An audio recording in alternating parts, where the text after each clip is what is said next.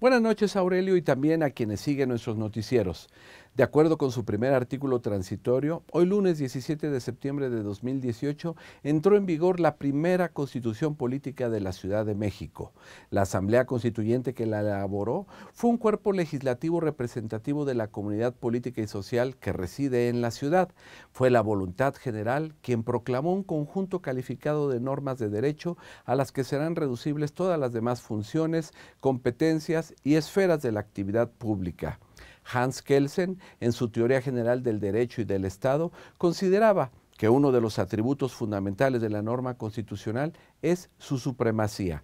Para poder constituir se requiere estar por encima de toda institución jurídica. Es preciso que todo le sea inferior.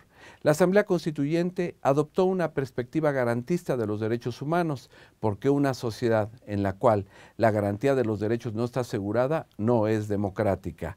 El nuevo ordenamiento constitucional prevé el empoderamiento de la ciudadanía y su preparación para participar activamente en la vida pública para el ejercicio y protección de sus derechos fundamentales. Actualmente, la ciudadanía reivindica su papel como actor principal, trascendiendo el rol de espectador al que históricamente ha estado sometida.